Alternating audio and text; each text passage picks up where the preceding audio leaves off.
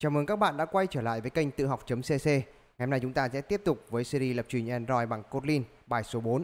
Trong bài này, chúng ta sẽ tìm hiểu về text view, edit text và button, các cái view cơ bản trong Kotlin. Phần đầu tiên chúng ta tìm hiểu về text view. Thì text view nó là một cái view dùng để hiển thị văn bản và không cho phép người dùng can thiệp sửa, tức là chỉ xem thôi. Phần ID là phần rất quan trọng. Nó chính là cái sau này chúng ta sẽ sử dụng để coding thì text view người ta sẽ đặt bắt đầu bằng tiền tố là txt. Ví dụ như chúng ta có một cái text view là username thì chúng ta có thể đặt là txt username. Bây giờ các bạn mở Android Studio, chúng ta sẽ thử code nhé.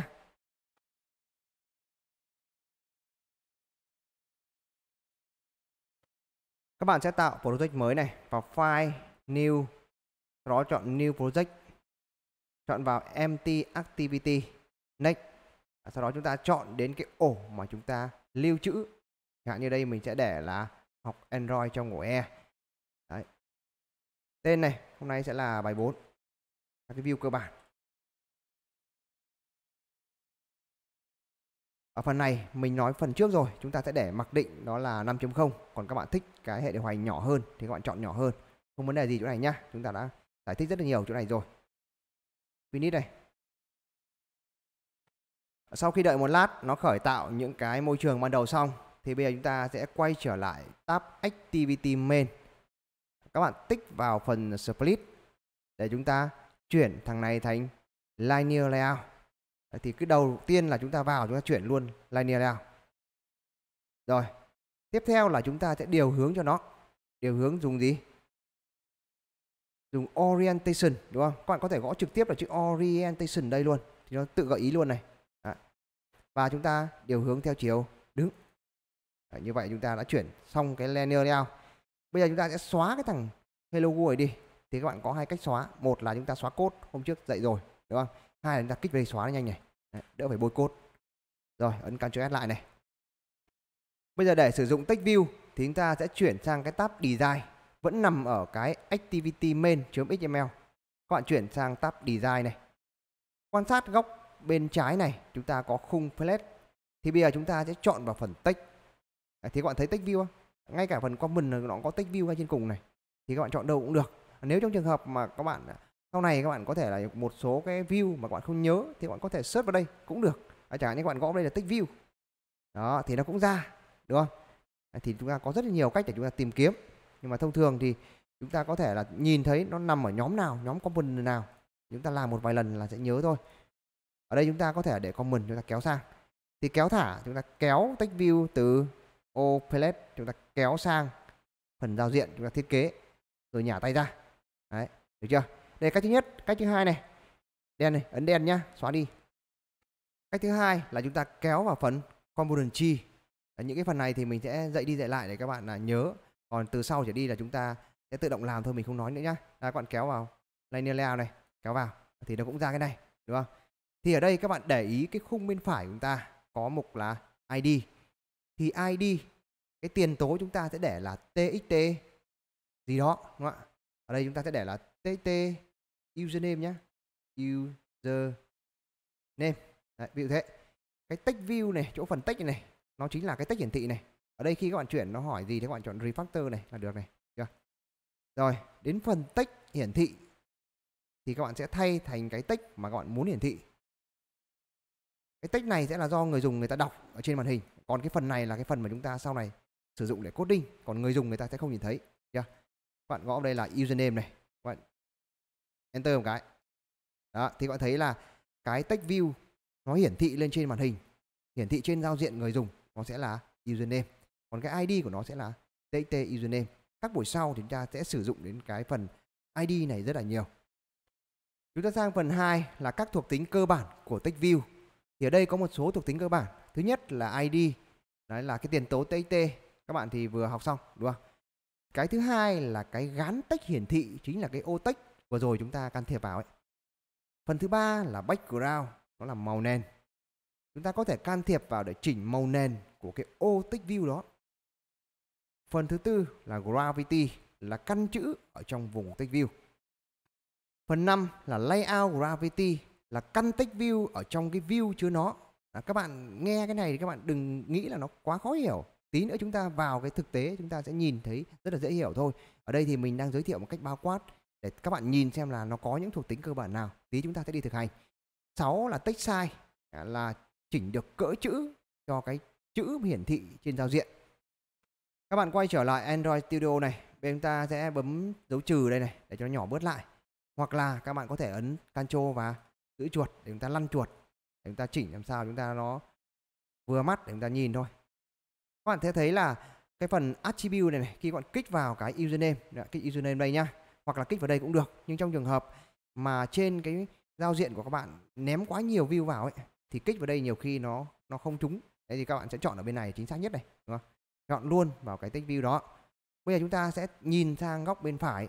Thì tất cả các cái thuộc tính làm đẹp cho view chỉnh màu nền, chỉnh cỡ chữ, thì nó đều nằm ở trong cái ô attribute này.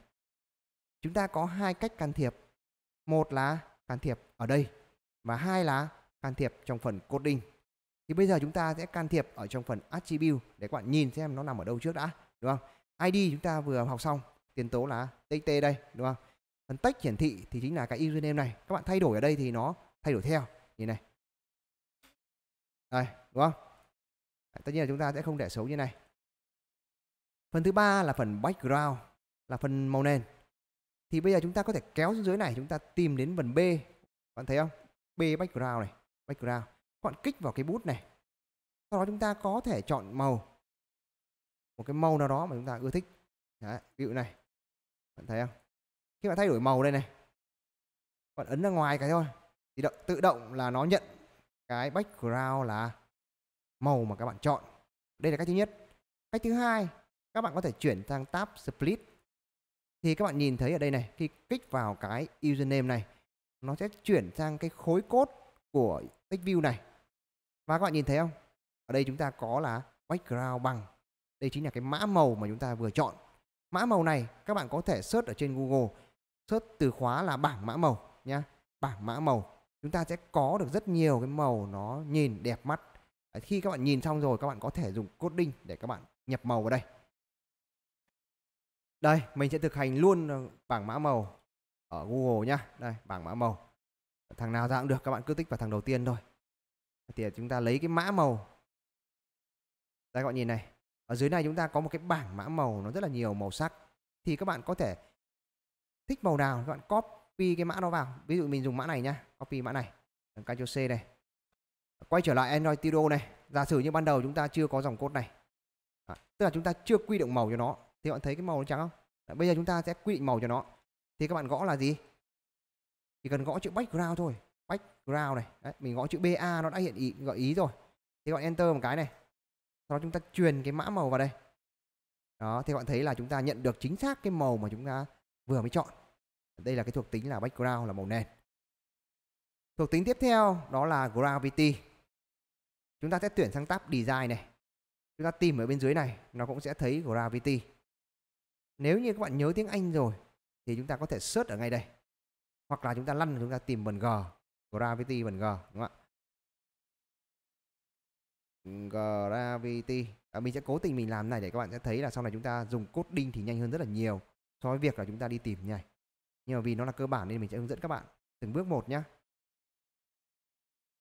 G H I K L M N. Đây, gravity đây, được không? Bây giờ chúng ta kích vào nó. Và các bạn sẽ thấy là nó có rất nhiều cái lựa chọn chúng ta. Các bạn kích vào center và nhìn trên cái màn hình hiển thị nhá. Kích center này. Apply này. Đấy, các bạn thấy không? Chữ nó bị nhảy ở giữa. Thì tức là cái gravity này nó chỉnh cái thằng text nằm ở trên cái text view, nằm ở vị trí nào, đúng không? Các bạn nhìn này đây chúng ta không chọn center nữa mà chúng ta chọn là bên phải đi. Đó các bạn thấy không? Nó nhảy sang bên phải này.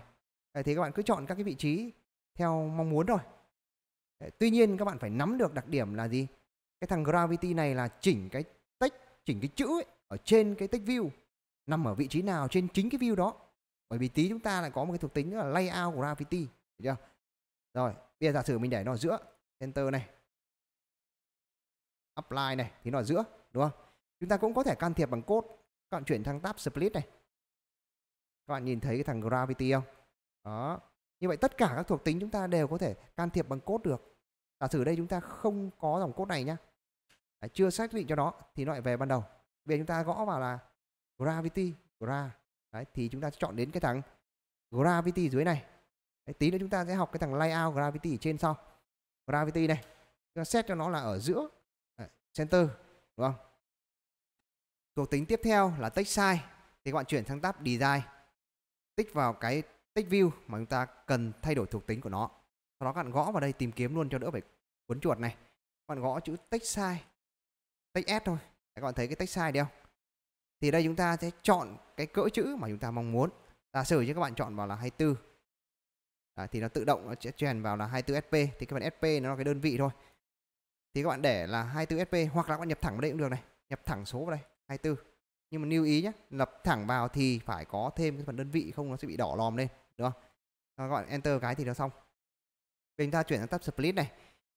Chúng ta vẫn có thể can thiệp bằng code các bạn nhìn thấy không?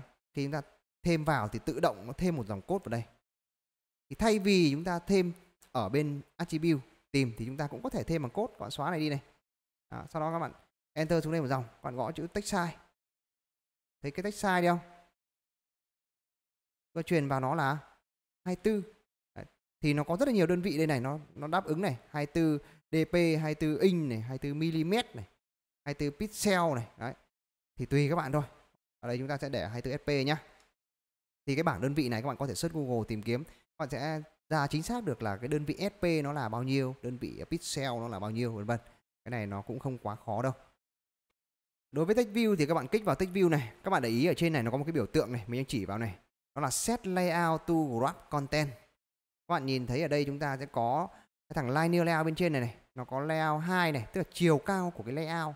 Nếu các bạn để matte parent, tức là nó sẽ phủ kín cái thằng cha nó, thằng chứa nó. Bởi vì cái thằng linear layout này là cái thằng đầu tiên chúng ta kéo ra, cho nên nó sẽ phủ kín giao diện, đúng không? Các bạn kéo sang các bạn nhìn này, thấy không? Thấy cái ô vuông toàn bộ ban ngoài cùng này không? Nó chính là của cái liner layout trên cùng. To nhất. Chính là cái thằng liner layout này này. Đấy nó nằm phủ kín. Với thuộc tính là layout 2 tức là chiều cao của layout là mat pattern nó sẽ phủ kín. Layout width mat pattern nó cũng sẽ phủ kín. Sẽ phủ kín chiều ngang và chiều rộng. Tương tự như thế. Các bạn tích vào thằng à, tích view của chúng ta này. Thì ở đây chúng ta cũng thấy là layout width tức là chiều rộng của cái layout là phủ kín. Đúng không? Các bạn thấy phủ kín không? Nó kịch chiều rộng này. Còn layout 2 là grab content tức là gì? Tức là nó chỉ vừa bằng cái ký tự ở bên trong thôi. Thì nó chính là grab content. Ở trong trường hợp mà chúng ta muốn sử dụng nhanh sửa nhanh thằng chiều rộng đang từ full màn hình thành grab content thì chúng ta có thể kích vào cái này. Kích vào đây. Bạn nhìn nhá nhìn phần code này. Code đang là matte pattern nhá. Tức là phủ kín thằng cha. À, bây giờ kích vào đây. Đó các bạn thấy không? Nó nhảy ngay sang grab content và nó vừa khớp với cái chữ, cái ký tự ở trên nó thôi, đúng không? Nó cũng tương tự với các thuộc tính khác là chúng ta cũng có thể can thiệp bằng code. Thì các bạn để ý chúng ta có layout width đây, đúng không? Thì giả sử như nó đang full layout như này, ở bên chúng ta muốn chuyển sang grab content thì chúng ta chỉ cần sửa thôi.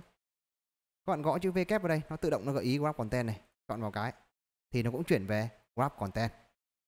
Ờ, mình sẽ chỉnh cái phông chữ coding cho to một tí cho các bạn dễ nhìn nhá. Vào file này setting này đó vào à, phần à, editor phông. Mình sẽ để 16 ok này à, chữ nó to hơn một chút cho các bạn dễ nhìn. Chúng ta sẽ sang cái phần thuộc tính tiếp theo đó là layout gravity. Thì các bạn gõ vào đây sẽ là layout này. Đó thì nó gợi ý là cái layout gravity này. Thì lúc trước chúng ta học là cái thằng gravity là cái thằng chữ nằm ở trên view chỉnh nằm ở đâu đúng không? Còn bây giờ chúng ta để layout gravity, tức là chúng ta sẽ bê cái thằng text view này đi đâu? Ở trong cái thằng cha nó, thằng chứa nó. Giả sử các bạn để center này. Đấy, các bạn thấy không? Cả cái ô text view của chúng ta di chuyển xuống giữa. Là bởi vì, chuyển tab design nhá, nhìn này. Thằng txt username này, chính là thằng text view chúng ta can thiệp này.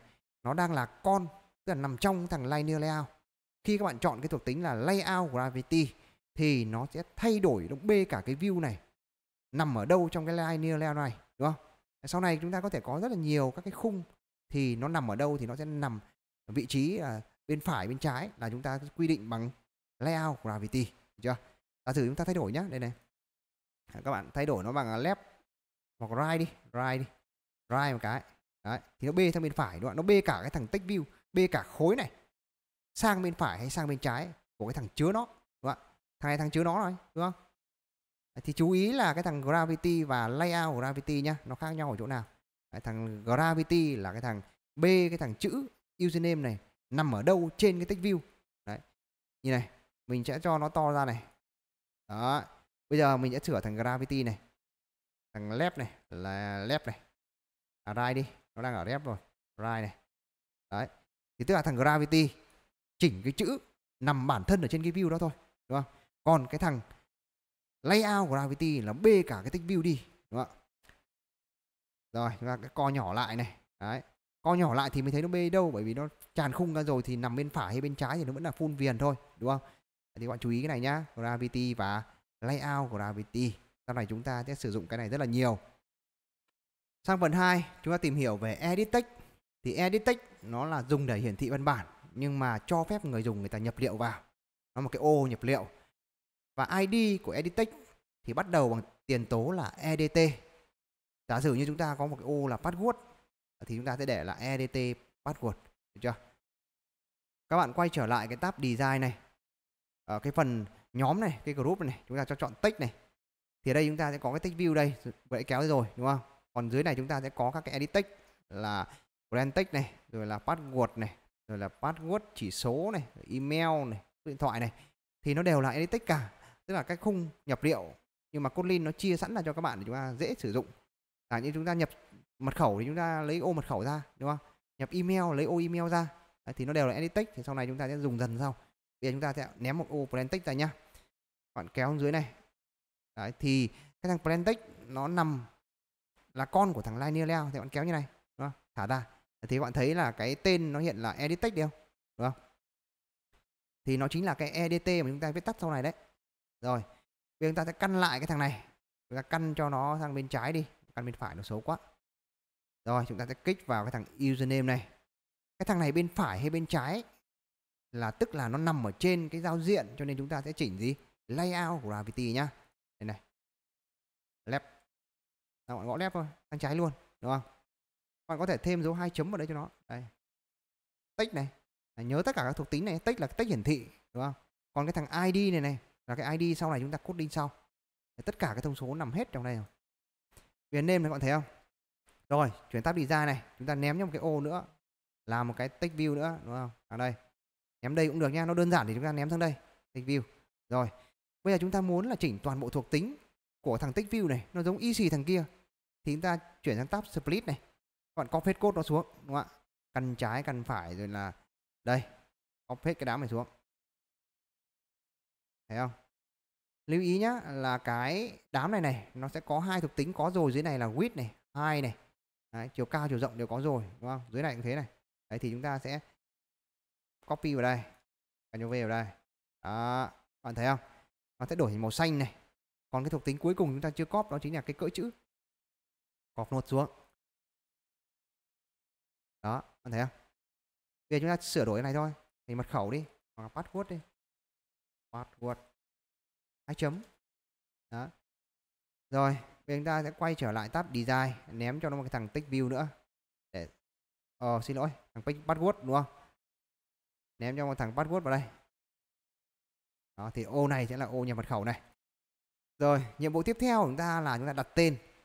Thì cái phần edit text này, chúng ta quy tắc đặt tên, tiền tố của nó là edt đúng không? Thì bạn sẽ phải nhập vào đây là edt edt này. Giả sử chúng ta sẽ nhập vào là edt username, đúng không ạ? Username. Còn thằng bên dưới này sẽ là? Đây này. Thằng bên dưới này nó sẽ là edt password.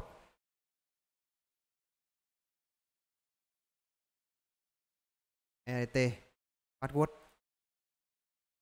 Enter này. Refactor này. Thì bạn sẽ thấy là cái phần khi các bạn đổi cái ID thì tự động nó update đây này. Đấy, thấy không? Update đây. Cái thằng text v3 này chúng ta chưa sửa, đúng không? Nên nó vẫn đang là text v3. bây giờ chúng ta sẽ để là txt gì? Password, đúng không? Txt password. Enter một cái, refactor. Thấy đổi không? Đó. Thì ở đây mình có một cái lưu ý này. Thông thường thì chúng ta chỉ cần đặt cái ID cho những cái mà sau này chúng ta sẽ sử dụng để coding thôi giả sử như trong cái màn hình này chúng ta sẽ có hai cái mà chúng ta sẽ sử dụng coding này. Để sau này các bạn làm thì các bạn sẽ biết. Ở đây mình sẽ nói trước nhá. Giả sử như chúng ta sẽ có hai cái dòng này, sau này chúng ta sẽ can thiệp để chúng ta biết là người dùng nhập cái gì vào, đúng không? Còn cái thằng password này này và username này, nó chỉ là cái hiển thị cho người dùng thôi. Thì thông thường chúng ta có thể là bỏ qua bước đặt tên cho nó, không cần đặt cũng được, để mặc định cũng không sao, được chưa? Ở sang phần 2 là các thuộc tính cơ bản của Editech này. Thì ngoài những cái thuộc tính mà chúng ta đã biết nó cũng có cái thuộc tính giống hệt ở bên trên của cái thằng tích View thì chúng ta có thêm một cái thuộc tính nữa, đó là thuộc tính 2 hai ở đây, nó sẽ hiển thị cái gợi ý nó xuất hiện khi chưa có dữ liệu nhập vào. Thì bây giờ chúng ta sẽ thử nhá. Các bạn chọn đến phần edit username này.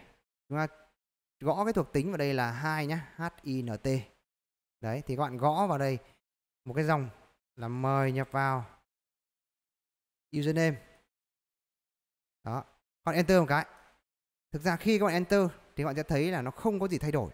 Lý do là cái ô editor, cái thằng username này này, nó đã có cái ký tự name ở đấy rồi. Các bạn chuyển sang tab split này, cho nhìn thấy này.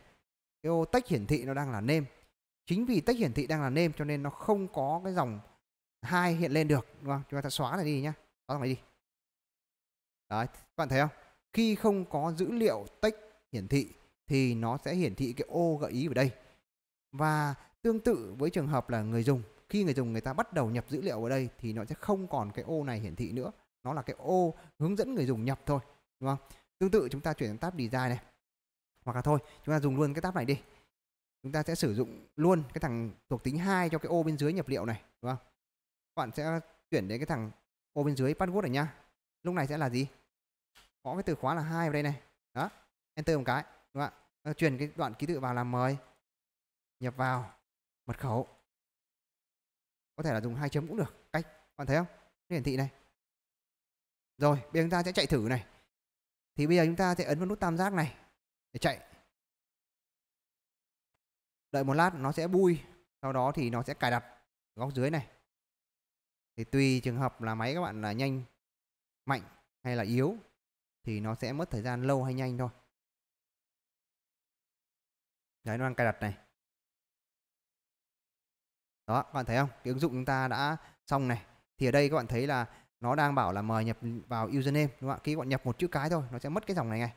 F này. Đó. Bên dưới này mật khẩu cũng vậy này. Đó được không? Thì khi các bạn chọn cái ô uh, mật khẩu còn kéo xuống ấy, thì tự động nó sẽ hiểu đây là mật khẩu và nó tự động nó mã hóa thành dấu chấm chấm này. Đó. rồi nó tắt đi nhá. Tạm dừng này. Chúng ta sang phần 3 là bút tông. Nó là một cái nút bấm cho phép người dùng click vào để tương tác thực hiện một công việc nào đó. Thì cái ID chúng ta đặt tên bắt đầu bằng tiền tố là BTN giả sử như chúng ta có là BTN thoát. Các bạn ấn vào cái dấu trừ để chúng ta ẩn cái thằng máy ảo đi nhá. Ấn đây này. Chúng ta tuyển sang tab design này. À, chúng ta sẽ ấn vào cái nhóm là bút tông. Chúng ta kéo một cái nút bấm ra. Thì bây giờ chúng ta sẽ kéo ở trong cái phần linear layout này nhá. Kéo dưới cùng này. Đó thì cái nút bấm nó sinh ra ở đây. Thì cái phần ID các bạn chọn bút tông này. Phần ID chúng ta sẽ để là BTN chẳng hạn như chúng ta để là BTN thoát này. Thoát đúng không? Và cái phần text hiển thị chúng ta để là thoát hoặc exit tùy các bạn nhé. Rồi. Đó, thì như vậy là chúng ta sẽ có một cái nút bấm rồi. Ở những buổi sau thì chúng ta sẽ học cách để chúng ta tương tác trên các cái nút này. Như vậy là bài học hôm nay chúng ta sẽ tạm dừng ở đây. Mình sẽ review lại toàn bộ kiến thức trong ngày hôm nay để các bạn tiện ôn tập. Chúc các bạn có những buổi học vui vẻ. Cảm ơn các bạn đã quan tâm theo dõi.